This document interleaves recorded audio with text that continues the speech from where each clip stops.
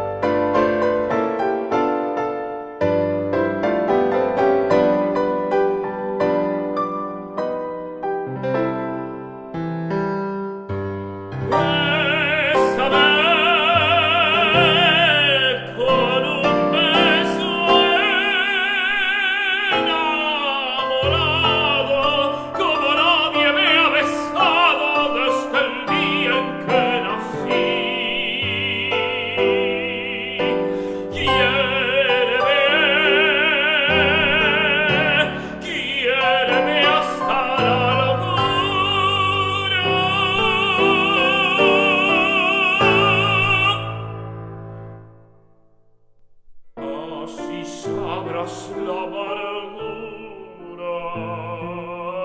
que estoy sufriendo.